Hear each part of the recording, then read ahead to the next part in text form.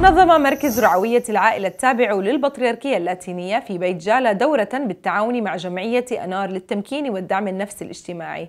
ويأتي عقد هذه الدورة بهدف تهيئة مجموعة من العائلات الملتزمة رعويا لمساعدة كاهن الرعية في متابعة المشاكل والتحديات التي تواجه عائلات الرعية. وقد انضمت إلى الدورة رعايا بيت جالا وبيت لحم والقدس. والتزمت بكافة النشاطات والتمارين التي منحت المشاركين المهارة للتعامل مع بعض الحالات.